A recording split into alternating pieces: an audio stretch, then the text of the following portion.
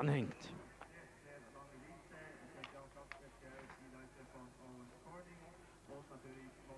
Sie stand schon, bevor wir zu den Buckelpistenfahrerinnen gehen, als Weltcupsiegerin fest. Donna Weinbrecht, Tatjana Mittermeier lieferte sich einen harten Kampf mit Candice Gilg aus Frankreich. Hier haben wir sie um den zweiten Platz. Springen gab es nicht mehr, das wurde schon abgesagt. Die letzte Veranstaltung war in Altenmarkt Zauchensee, eine Woche vor dem Finale hier in Meiringen-Hasliberg. Candice, still exciting today between you and Tatjana, second or third. Ja, es ist also sehr eng zwischen dir und Tatjana. Sie sagt, was ist deine Vorstellung für den heutigen Tag? Alors, euh, donc, comme moi, je suis derrière, je suis troisième pour le moment, et il faudrait que je lui mette deux places euh, de différence. Ça va pas être facile, mais euh, je vais essayer de faire du bon ski, des, des, bons sauts. La piste est excellente, la neige très bonne. Also die Piste ist in hervorragendem Zustand. Wir müssen sehen, dass wir auch in einer guten Zeit herunterkommen und uns keine Fehler erlauben. Das ist das Entscheidende. Pour moi, c'est plus facile d'être deuxième, c'est vrai, parce que c'est toujours difficile d'être leader du matin, parce qu'on entend les points qui montent et, et, on a la pression qui monte avec.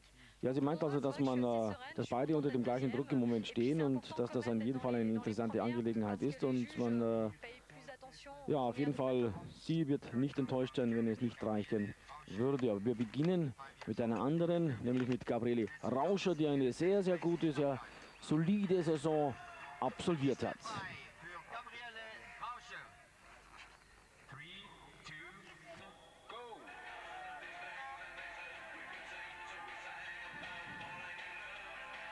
Ja, und sie zeigt auch nochmal am Ende der Saison eine prima Leistung.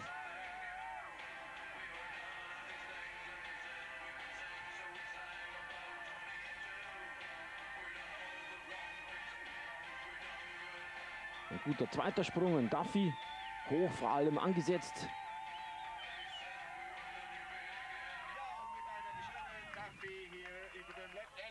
Und damit ist Gabi Rauscher auch mit einer ja, berauschenden Fahrt am Ende der Saison angelangt und am Ende einer Saison, mit der sie sicherlich sehr, sehr zufrieden sein konnte. Gabi, das war ein super Lauf, oder? Ja, ich bin zufrieden, weil ich habe mir gedacht, entweder oder. Die andere fahrt super, mit Sicherheit. Da kommen auch noch viele gute, aber ich bin jetzt mal froh, Zeit ist gut und so haben wir auch sicher gefühlt. War eine super Saison für dich? Ja, ich hatte zwar die letzten zwei Wettkämpfe ein bisschen schlechte Läufe gehabt, aber sonst war es im Ganzen war es super, ist okay.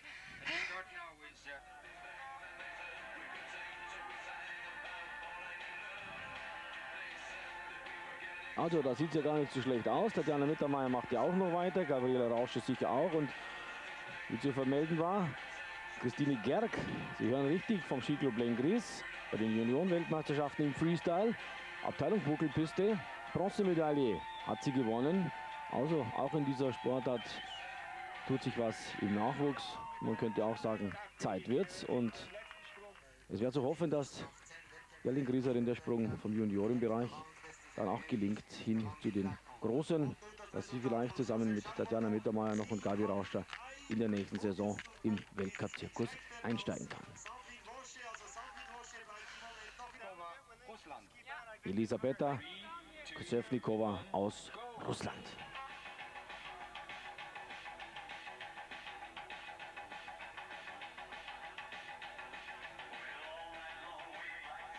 Doppelmanöver beim ersten Sprung.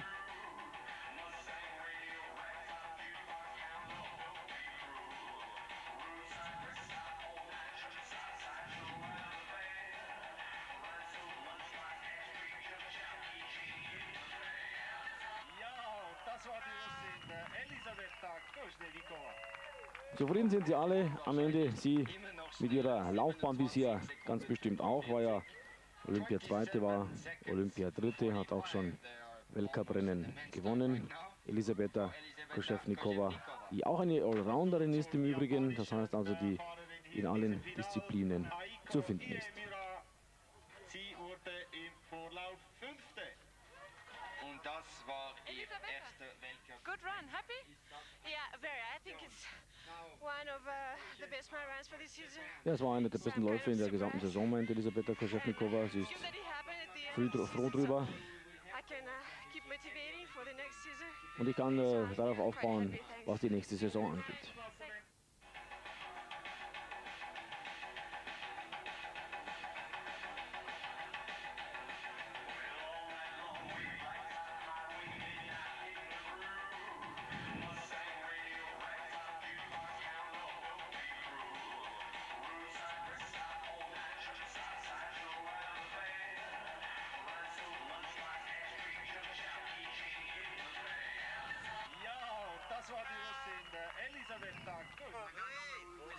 World Championship and the Olympic Games.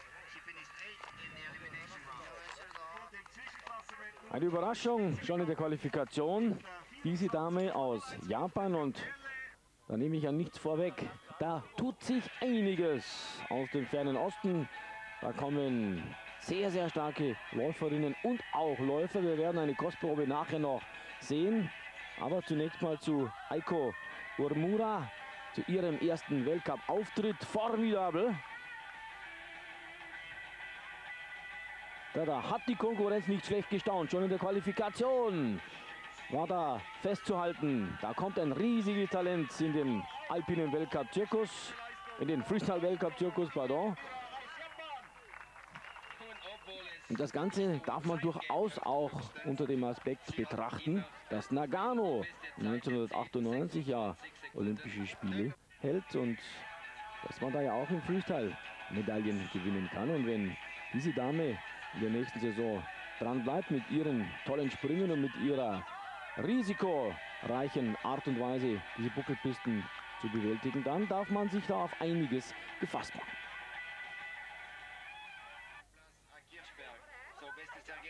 Ja, Platz. 25.08. Die Führung für Aiko Urmura. Ja, und dann geht's zu Tatjana Mittermeier. Was ist das für ein Gefühl, jetzt hier oben zu stehen und noch warten zu müssen? Ja, ist ganz klar, man ist natürlich nervös. Bei mir geht es ja doch ein bisschen um die Wurstheit. Aber ich freue mich drauf und ich bin im Training gut zurechtgekommen und ich hoffe, dass ich das halt umsetzen kann.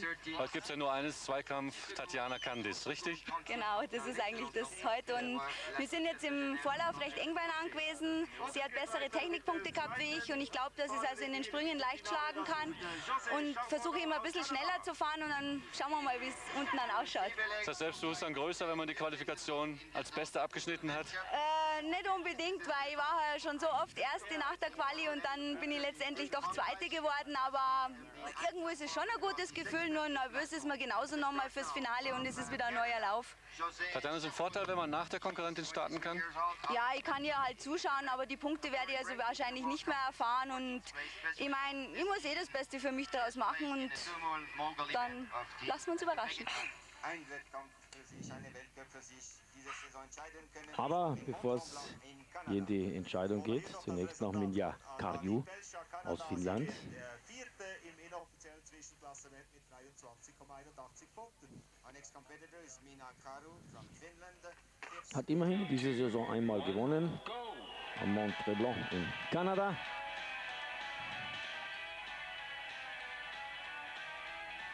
Aber sie ist in ihrer Fahrweise noch zu unbeständig. Doppelmanöver, Doppeltwister im ersten Sprung.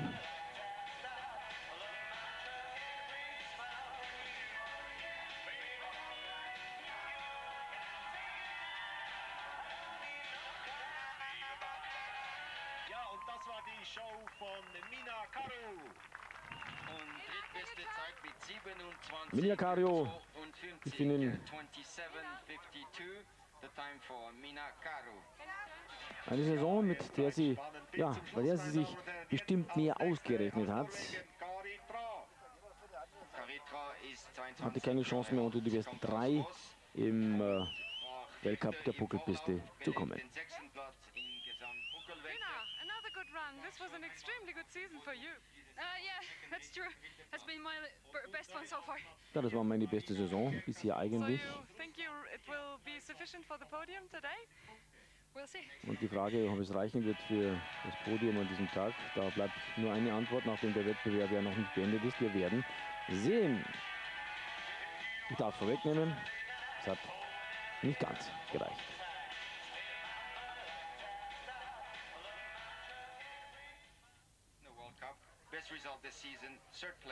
Dritter Platz zu diesem Zeitpunkt und da kamen die anderen natürlich auch noch.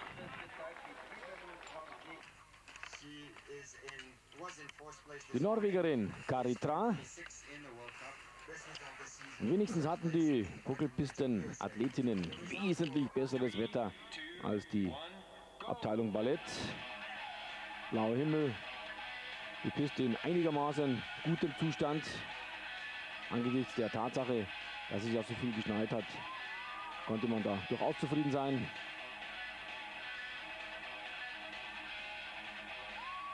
Beste Punktzahl bis zu diesem Zeitpunkt die Japanerin Aiko schnellste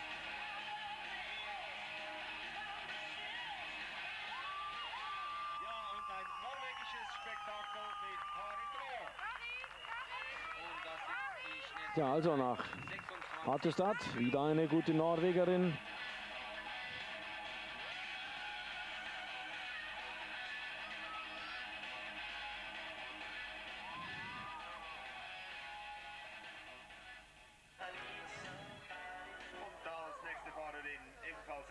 Schafft es nicht ganz, um unter die besten, ja, um in Führung zu gehen, um an der Japanerin vorbeizuziehen.